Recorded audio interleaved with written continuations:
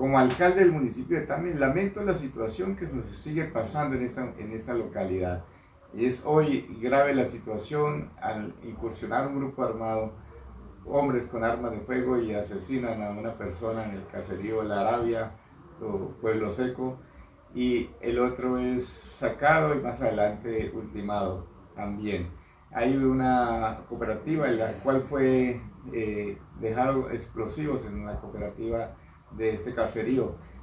Eh, reitero mi llamado al gobierno nacional, presidente Gustavo Petro, para que en esa mesa de negociación que tienen con los grupos del margen de la ley haya ese cese al fuego, hayan esos acuerdos, haga, hacer el llamado a que haya cese al fuego, que haya acuerdo entre ellos para que